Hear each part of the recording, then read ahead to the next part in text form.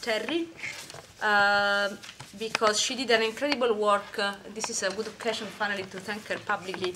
She did an incredible uh, work uh, editing the book, uh, not to speak of the translators, of course.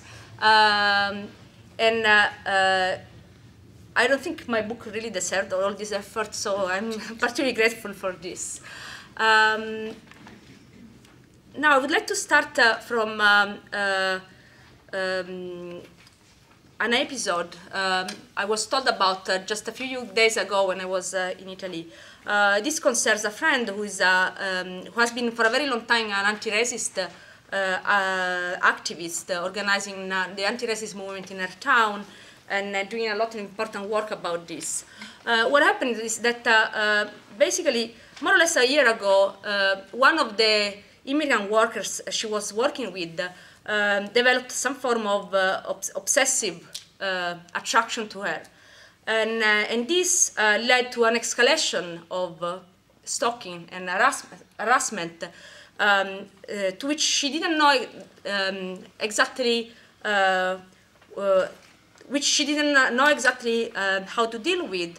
Because, of course, the problem was that denouncing this person uh, would mean uh, exposing him to the possibility of an expulsion from the country, so the denial of the renewal of the visa, uh, of the visa. And um, the problem is that also that the, the, the left around her, with a few, with few exceptions, uh, was not really capable, so the anti-racist uh, groups and so on, were, were, not really capable of dealing with the situation, and where, and the solution they found was actually to downplay uh, the situation, so to underestimate uh, the situation by insisting that in, in the end it was just an unwanted passionate lover.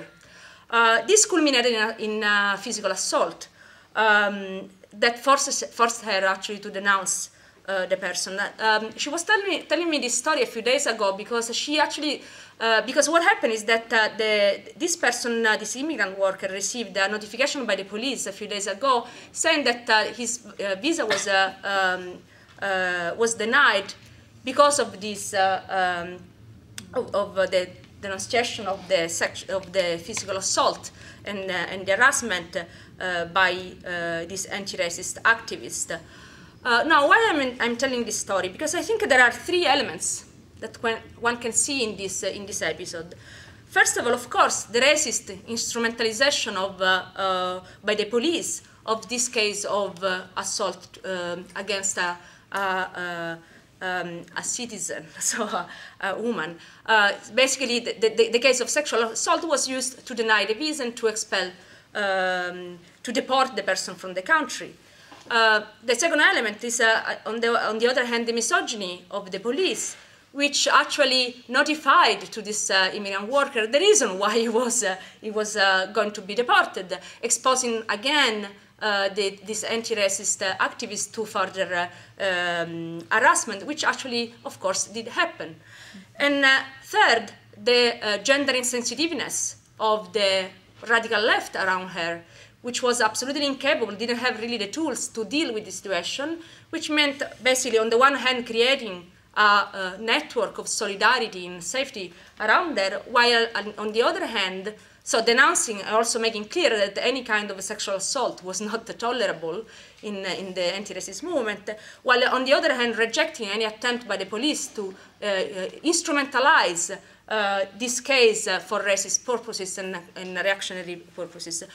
Um, now, this kind of episode is uh, one of the reasons, uh, uh, because of course it's not the first, it's not the last one, the last one I had the experience of, uh, directly or indirectly, is one of the reasons, or the main reason, uh, why I actually decided to write this uh, very little, little book. the problem I, I, I, I, wanted to raise was, um, on the one hand, to have a look at the history of the complicated or dangerous relationships between uh, class-based movements and, uh, and uh, gender-based movements. Um, uh, because I didn't really, uh, in my um, uh, experience as an activist, I had several times experienced cases of sexism, misogyny, even within the organizations I was part of or in the uh, social movements and groups I, I was part of. On the, on the, other hand, so I wanted to unpack this, I wanted to address this issue. On the other hand, I was not really convinced by the narrative according to which the history of the relationships between uh, gender-based movements or feminist movements and class-based movements or uh, Marxist-led has been just a history of divorce, uh, tension and conflict. Uh, this was a narrative which, that didn't convince me, also because if we look at the situation now, um, and uh, the situation uh, in which we, are, we all are, uh, we are not really better off uh, now that uh, struggles and movements are so fragmented and that unity sounds like a, um, very often like a, a, bad word. We are not better off than we were 40 years ago. So basically, um, even if the, the, my, my, my, my viewpoint was that even if the, the, the, the, the relationship has been a tense one, a complicated one, uh, a hate-love relationship somehow, it is also a relationship which is, in, in a sense, uh, necessary, vital, if we want to progress in our struggle and, and resist uh, against neoliberal capitalism. And I think the, uh, that, for example, the increasing use and instrumentalization of gender discourse by conserv conservative, nationalist, or racist forces, uh, not only in Europe but around the world. Racism, are, very, which are issues on which uh, Sara is doing very important work.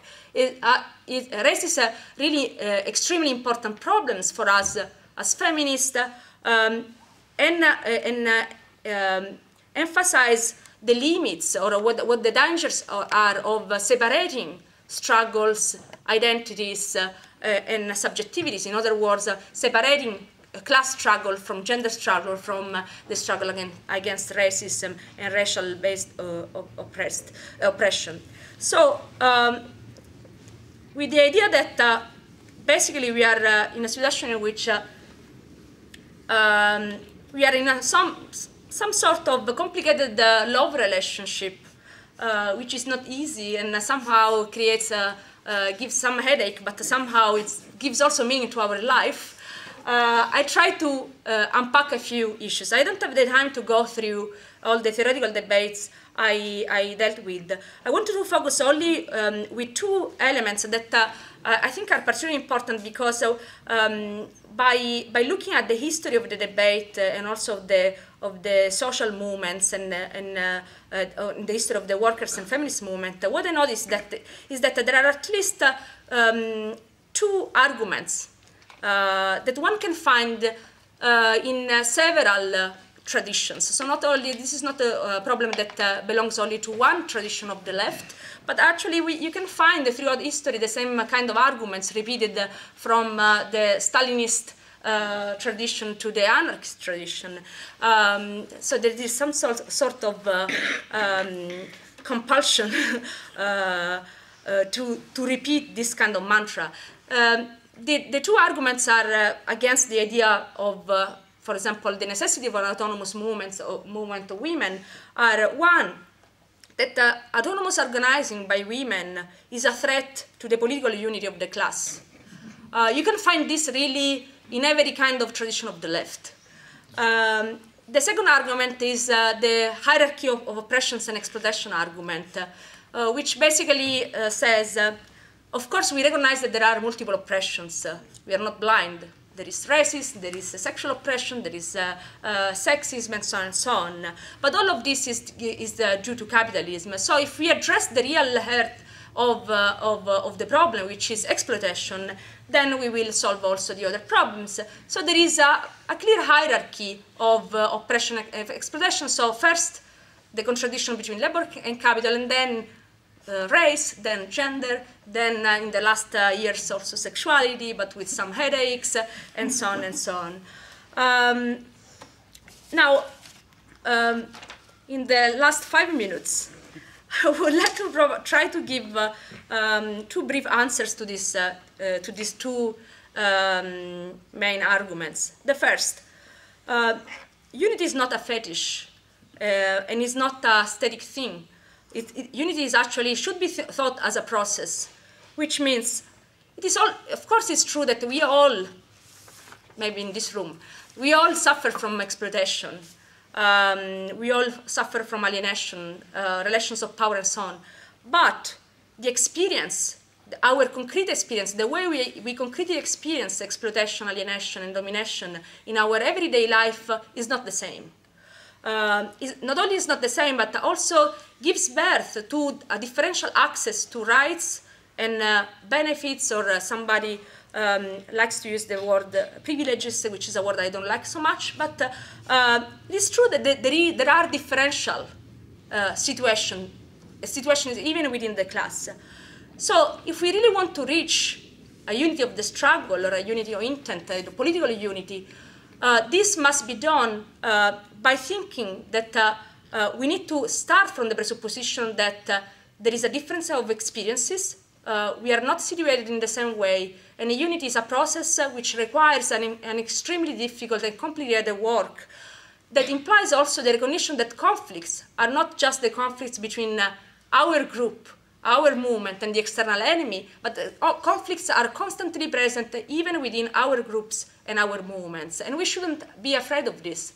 It doesn't mean that we should uh, always look for fights, um, but we should be uh, aware of the fact that uh, even among us who share a, maybe a political project, the, the idea of uh, defeating capitalism and so on, there can be conflicts which are not just ideological and cultural conflicts, but which are rooted in a, a different uh, uh, situation, in different position within uh, the relations of exploitation and oppression. So the problem is uh, how to address this. And in my political experience, uh, one of the, of the ways I found, which is not the solution to all evils, is to allow the autonomous organization of oppressed people even within mixed political groups. This is not the solution to all evils. It is not the magical, uh, the magic solution, but at least it allows a process of uh, subjectivation, so a, pro a, process of protagonism, subject formation within the groups uh, to address these issues in an uh, organizational and political way. The second uh, answer about the hierarchy of exploitation and oppression, um, I think that um, here the mistake is both analytical and, and political. Uh, it lies in the idea that you can uh, explain what capitalism by just uh, uh th this is a metaphor I like to use just because I didn't find a better metaphor. But it's uh, as if uh, we wanted to explain the anatomy of the human body by explaining only the earth. in other words, if I explain how the earth work, works and what this function is, then I have the whole picture. This is, of course, not true.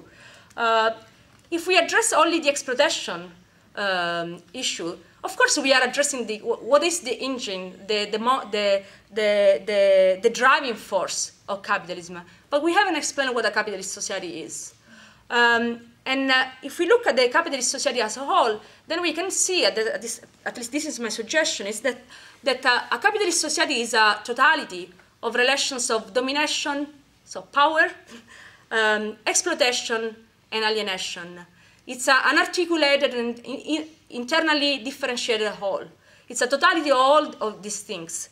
And while I do share the idea that uh, capitalism cannot survive without its heart, which is the exploitation, the um, seeking for profit, and, and, the accumulation of profits, uh, it is also true that uh, um, the conditions for exploitation, the social conditions for exploitation must be reproduced. And here, all forms of oppression, race, gender, sexuality, and so on, do play a crucial, important, constitutive role in creating, constantly creating the conditions for exploiting people. Uh, so from this viewpoint, then it doesn't make any sense to, to, to think about a priority of struggles because the point is that the struggles against capitalism can arise from every uh, point of the reproduction of the capitalist society, capitalist society. And the point is not so much to uh, indicate with the sort of kind of textbook of the perfect uh, revolutionary struggle what the priorities are, but rather trying to unify these different struggles that arise from these different points of the reproduction of capitalist society. To conclude, because I, I spoke as usual too much, um, Daniel Bensaïd in his uh, book on uh, Trotskyisms, and I like the fact that he, uses the, the plural and I think we should actually take the habit of, of speaking of Marx, Marxism in the plural and feminisms in the plural. Um, he speaks about the bags of exile. I don't know if this is translated like this in, in English. The bags of exile. In other words, the point is uh, uh, we have, uh, we have uh, um, gone through a very long journey. We are not uh, in a very good condition, let's be honest. Uh, but at the same time, uh, of course, we want to go on.